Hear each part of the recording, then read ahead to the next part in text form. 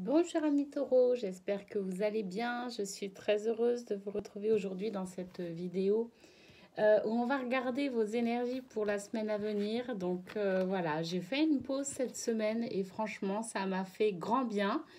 Euh, je me sens pleinement ressourcée et prête à vous faire une belle guidance pour la semaine à venir. Donc voilà, on va utiliser le tarot de l'amour pour voir un petit peu vos énergies au niveau sentimental, euh, mais euh, au niveau sentimental, mais là on va parler d'amour inconditionnel, hein, déjà en, priorité pour vous, et ce vers quoi vous allez aussi euh, par rapport à vos relations aux autres, d'accord? Mais toujours sur un caractère sacré, hein, dans le sens du véritable amour, hein, cet amour euh, sans condition en fait.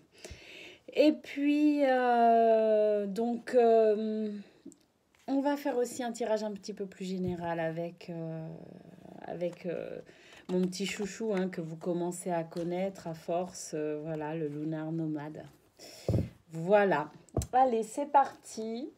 Pour vous les taureaux, on regarde pour cette semaine à venir. Alors quand je parle d'amour inconditionnel, bien évidemment, je ne dis pas que l'on doit euh, tout accepter. Euh, mais disons que euh, partir du fait que on se nourrit déjà soi-même d'amour inconditionnel, ça va amener le respect pour nous-mêmes dans un premier temps et forcément ça amène l'équilibre ensuite dans nos relations aux autres. Et puis ben voilà, il n'y a pas d'amour inconditionnel en ce qui concerne euh, quelqu'un qui viendrait véritablement vous nuire. Euh, l'amour conditionnel se situera dans le fait de vous aimer, de vous respecter vous-même et de mettre un terme à ce qui pourrait vous nuire. Bien évidemment, on n'accepte pas tout. Hein Allez, on regarde pour vous les taureaux cette semaine avec le tarot de l'amour. Quelles sont vos énergies?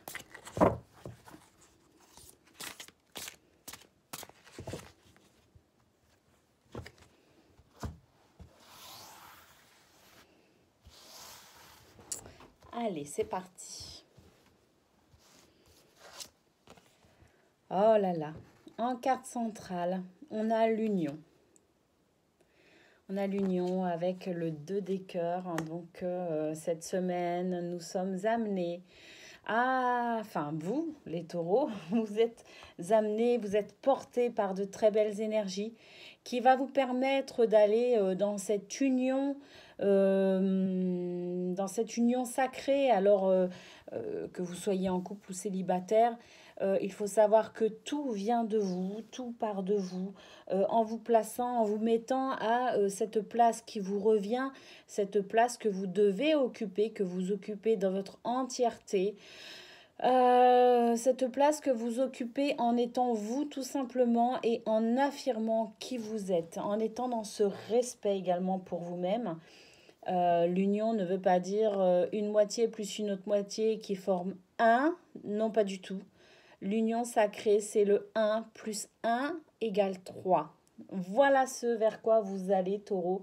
Si vous êtes euh, célibataire, eh bien, cette semaine vous amène à réfléchir, peut-être à ce qui pourrait vous bloquer, vous freiner pour aller vers votre âme sœur, peut-être aussi ce qui vous a euh, dérangé euh, dans une relation passée et qui fait que vous n'arrivez peut-être plus à aller de l'avant. Peut-être que vous n'y croyez plus, peut-être que voilà, il y a, y a, des blocages, hein, euh, peut-être aussi. donc, à vous de voir aussi durant cette semaine, peut-être d'introspection, pour essayer d'aller creuser un petit peu dans, dans, dans, dans vos zones d'ombre euh, pour, pour voir euh, ce que vous pourriez euh, éventuellement mettre en lumière de façon à, à retrouver votre place aussi déjà pour vous-même, vous accepter dans qui vous êtes pleinement, dans votre entièreté, pour ensuite accepter aussi d'aller vers votre âme sœur. Allez, on a le 10 des cœurs qui nous parle d'apothéose qui nous dit que vous allez vers cette, euh, ce, ce, moment euh, d'introspection, euh, ce moment où vous allez peut-être aussi prendre du plaisir à être seul pour pouvoir aussi profiter de vous, tout simplement, profiter de vous faire du bien en étant en accord avec vous-même. Vous faire du bien en étant peut-être aussi dans le je suis, tout simplement, euh, ce je suis qui vous relie à votre être divin, euh, ce je suis qui vous permet aussi peut-être de vous extirper euh, des tumultes de la, de, la vie. Hein. ce, ce, moment de calme peut-être que vous pourriez vous offrir, ou ces moments de calme que vous pourriez vous offrir, pour justement aller plus sereinement vers cette union, d'accord? Cette union avec vous, même avec les autres, avec votre compagnon, votre compagne, et peut-être même débloquer la situation pour aller vers votre âme sœur et construire une relation. On a ensuite le roi des cœurs qui nous parle de guérisseur, ce guérisseur en fait, voilà, qui vous annonce la possibilité dans ce moment méditatif, d'accord? Euh, Pour vous, justement, je vous parlais de mettre en lumière quelques zones d'ombre, quelques zones encore un petit peu ombrageuses euh, de votre cœur, de votre euh, de qui vous êtes, eh bien, cette carte vous annonce tout simplement que vous avez la possibilité cette semaine de guérir certaines choses, de guérir certains aspects euh, de, euh, de vos émotions, de vos blessures, euh, pour aller toujours pareil vers cette union hein, qui est au centre. Et effectivement, ça va vous amener à vous libérer. On a cette carte qui vous annonce la métamorphose. Vous allez transmuter en fait. Vous allez, euh, euh, grâce à cette guérison, aller vers quelque chose de beaucoup plus sain. Euh, vous, vous, vous, transmutez l'ombre à la lumière. Vous transmutez la souffrance au plaisir. Voilà ce que nous annonce cette carte de la métamorphose, qui est l'arcane sans nom dans le tarot euh, classique, d'accord, dans le tarot de Marseille. Voilà, c'est le fait euh, de renaître également euh, d'une situation. On a la reine des étoiles qui nous parle d'illumination. Donc effectivement, pour vous, taureau, cette semaine, il y a quelque chose qui se passe euh, vous allez comprendre certaines choses, vous allez guérir des blessures, vous allez peut-être pour certains accepter peut-être une situation difficile, euh, peut-être même pour certains euh, accepter tout simplement la fin d'une union, justement, peut-être la fin d'une histoire d'amour, la fin d'un mariage.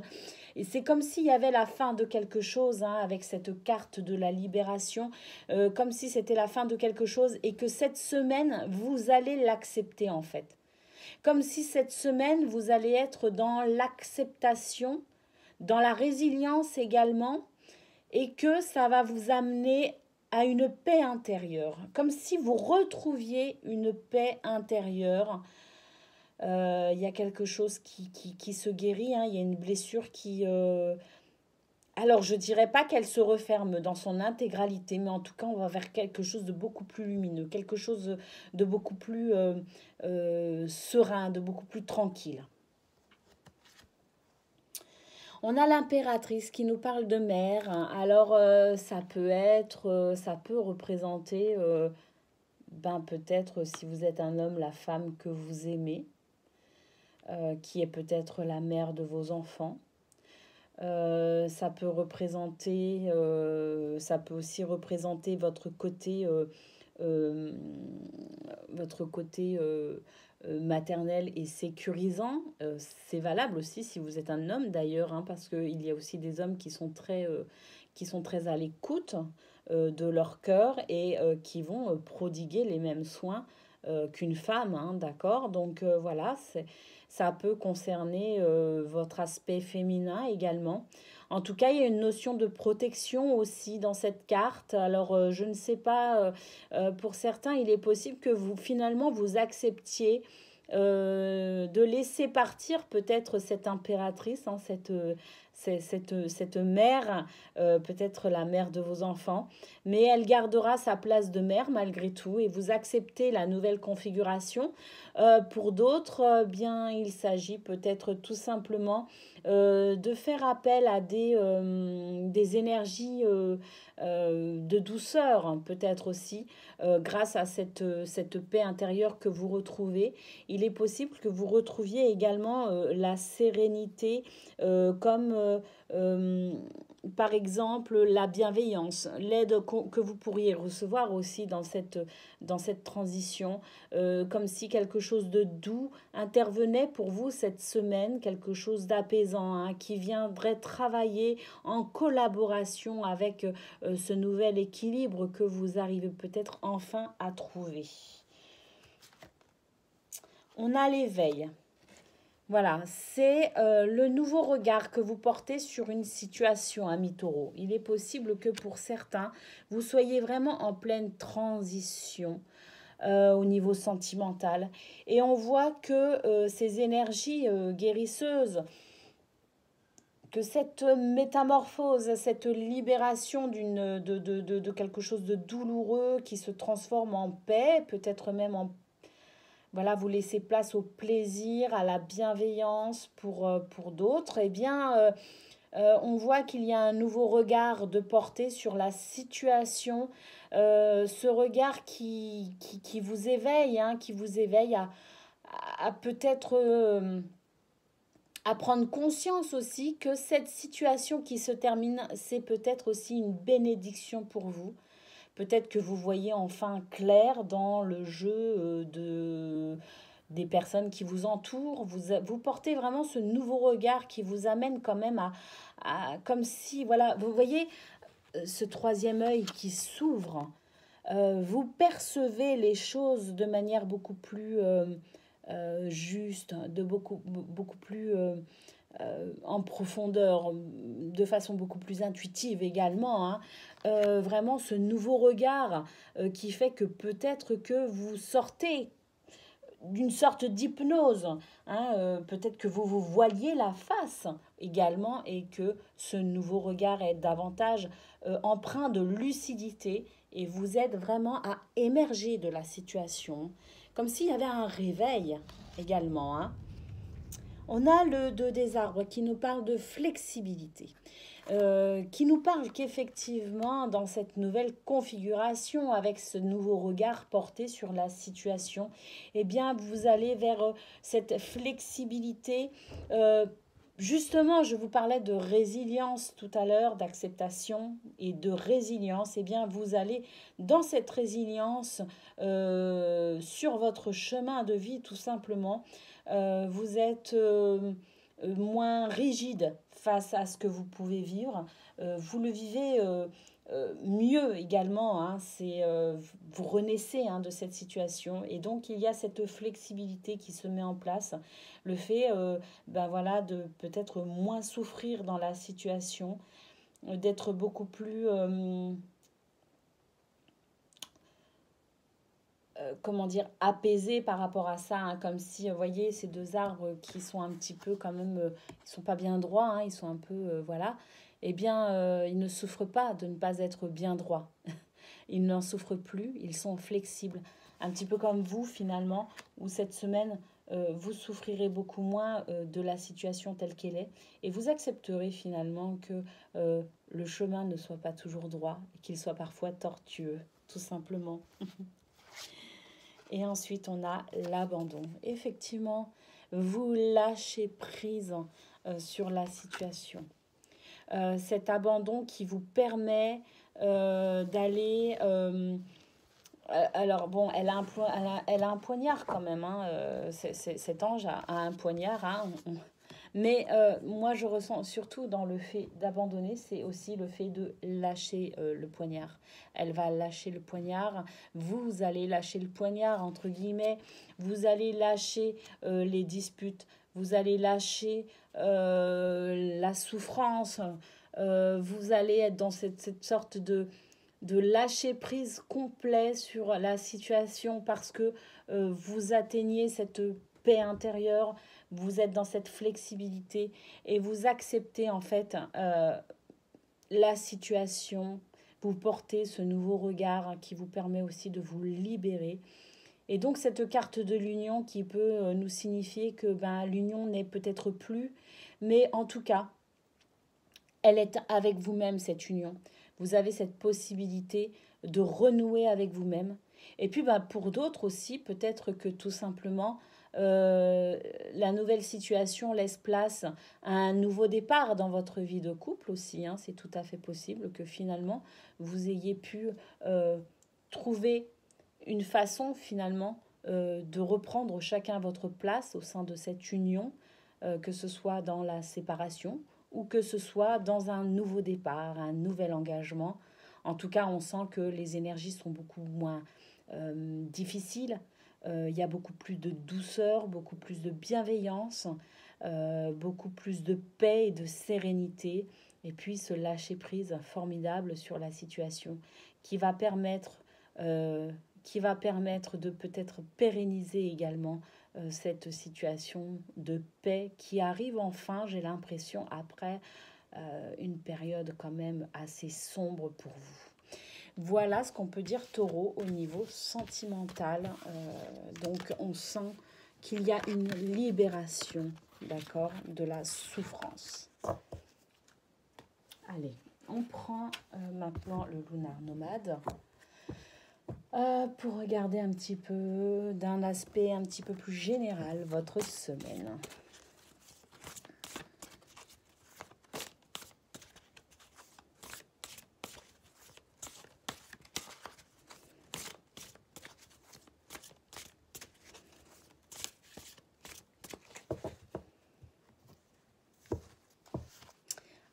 Qu'on a les taureaux Eh bien, carte centrale, on a l'homme, euh, cette carte qui évoque la force, le courage et aussi l'action.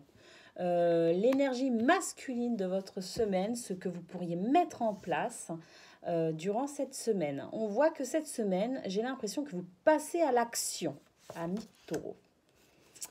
Vous passez à l'action. Alors, cette carte peut évoquer le côté juridique Hein, de cette semaine, peut-être que pour certains, euh, vous allez entreprendre des démarches juridiques. Alors ça peut être prud'homme, ça peut être euh, euh, affaires familiales, ça peut être beaucoup de choses finalement. mais ça peut aussi représenter le fait de rester intègre et droit avec soi-même. Cette carte évoque la droiture, la justice, la justesse. Une notion d'intégrité, peut-être aussi qu'en entreprenant ces affaires juridiques, euh, ce sera une façon pour vous de rester intègre euh, envers vous-même et intègre, intègre par rapport à la situation, comme si vous vouliez mettre les choses au clair, comme si vous preniez une décision euh, de marquer de manière juridique la nouvelle situation. À vous de voir si ça vous parle au niveau professionnel, au niveau sentimental, familial, hein, d'accord, ou, ou, ou, toute autre affaire.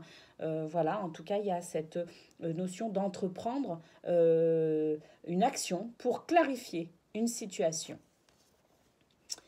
On a l'ours, l'ours qui nous parle de finances, de biens matériels, donc peut-être aussi que vous allez faire en sorte de, alors je sais pas, peut-être de reprendre aussi votre indépendance financière. Il y a une notion, j'ai l'impression que pour certains, vous vous retrouvez peut-être aussi une indépendance financière ou une indépendance peut-être matérielle, je ne sais pas. Peut-être que pour certains, vous allez vivre seul. Ça, ça marque peut-être le début euh, d'une vie d'autonomie, euh, aussi bien matérielle finalement que, euh, que je sais pas.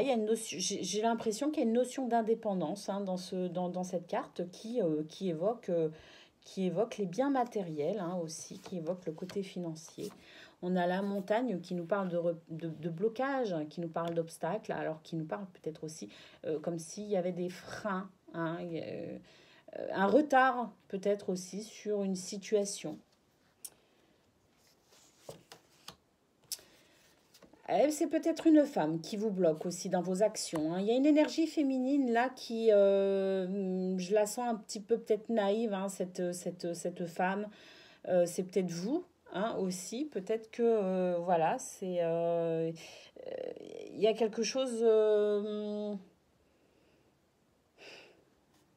comme s'il y avait une énergie féminine un, un petit peu... le côté peut-être un petit peu insouciant d'une situation qui viendrait vous freiner dans vos actions. Je sais pas, ça, ça peut peut-être parler à certains. Hein, je... C'est ce que je ressens, mais pour autant, je ne vois pas ce que ça peut être. Donc euh, voilà, bon, je transmets le message. Hein. On a les souris. Euh, les souris qui parlent ici euh, de perte, hein, d'accord Qui parlent de, perdre quelque chose. Alors vous vous délestez de quelque chose. Peut-être que vous vous délestez aussi de, de cette énergie féminine qui viendrait bloquer la situation. Peut-être que c'est cette énergie féminine qui vient aussi vous vous grignoter la santé? Je sais pas. Je sais pas, il y a, une notion euh, pour vous euh, assez lourde quand même, taureau, par rapport à, à un frein, un blocage, un obstacle. J'ai l'impression que c'est cette énergie féminine qui vous bloque qui viendrait vous, vous grignoter la santé carrément. Hein. J'ai l'impression qu'il y a un petit, un petit grignotage de santé là, euh, quelque chose qui vient, vous, qui vient vous, vous perturber dans votre santé.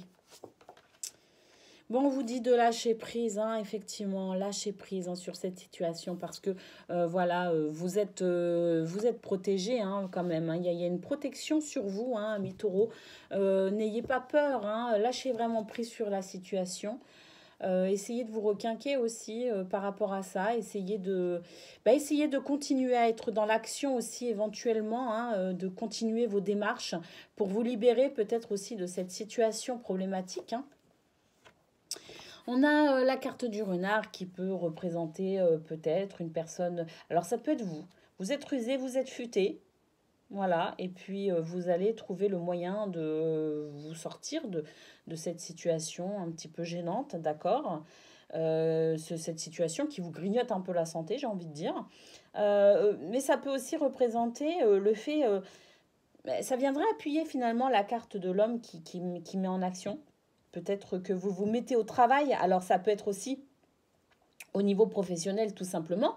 Mais si vous ne travaillez pas pour X ou Y raison, euh, si vous n'êtes pas en exercice d'une fonction, d'une profession, d'une activité euh, euh, professionnelle, ça peut aussi peut-être représenter le fait de vous mettre à l'œuvre pour vous sortir de cette situation. Voilà. Bon, pour certains, peut-être aussi que cette situation, elle, elle, vous bloque aussi. C'est peut-être au niveau du travail que vous rencontrez cette situation.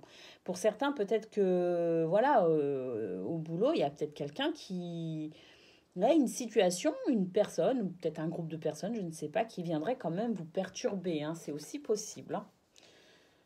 Peut-être aussi que pour certains, vous allez au prud'homme, hein, tout simplement aussi. Hein. Euh, c'est peut-être ça, hein, la carte de la justice. Bon, on a la lune. La lune qui vous dit que vous êtes dans ce cycle-là, hein, qui, vous, dit que voilà, vous êtes dans, ce, euh, dans, cette... Euh, il y a quelque chose qui vient, euh, qui vient effectivement vous, faire travailler les ménages, hein, quelque chose que, vous ruminez avec les souris, hein, ça vous grignote un petit peu, un petit peu le mental, un petit peu la tête, ça vous êtes préoccupé. On voit taureau quand même que voilà, j'ai l'impression que c'est cette action bloquée qui fait que vous êtes un peu préoccupé, d'accord? Parce que vous, vous, avez vraiment envie, j'ai vraiment l'impression, les taureaux, que vous prenez une décision, que vous avez vraiment envie de vous mettre en action mais qu'il y a vraiment quelque chose qui vient vous, vous perturber. Hein. Donc, euh, on vous dit quand même, hein, euh, là, il y a quand même une très très belle ligne hein, qui vous dit que restez honnête, restez intègre, euh, entreprenez les démarches que vous avez à entreprendre. S'il faut aller jusqu'au juridique, ben, écoutez, faites-le parce que vous êtes protégé. Hein vous avez quand même la protection, hein, la, la, protection sur cette situation, bien que vous soyez quand même tracassé pour entreprendre euh, bah, ces actions, ces démarches peut-être aussi pour certains. Bon, cette lune, elle vient aussi vous annoncer que c'est un cycle, hein, d'accord, et que comme tout cycle, ça passe, que vous êtes en plein dedans finalement, mais que vous allez en voir l'issue également. Hein. voilà, Mais vous êtes en plein dedans quand même. Hein. Vous êtes en plein dans, ce, dans, dans, dans, ce, dans cette problématique. Hein. On sent vraiment que c'est quelque chose d'un peu lourd pour vous cette semaine taureau.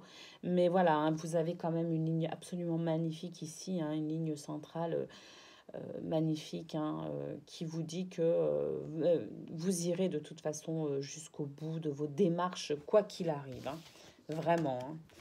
Moi, je pense que là, vous êtes, euh, vous êtes décidé, taureau, à passer à l'action. Et c'est ce qui va peut-être aussi vous amener à la libération, hein, comme on a vu au niveau sentimental. C'est possible aussi. Voilà pour vous, taureau, euh, cette semaine à venir euh, qui pourrait être finalement se révéler être une semaine de bénédiction malgré les difficultés euh, on sent que vous retrouvez une stabilité et une paix intérieure, que vous, de ce fait, peut-être aussi, vous allez vous mettre en action, entreprendre des démarches, peut-être même juridiques, et que bah, vous allez être freiné hein, euh, dans ces actions, mais pour autant, je vous sens déterminé. Voilà pour vous, taureau, cette semaine. Je je, vous souhaite euh, une belle semaine. Hein, euh, je vous souhaite de voir euh, le côté positif et les bénédictions dans toutes choses. Et je vous dis à très bientôt.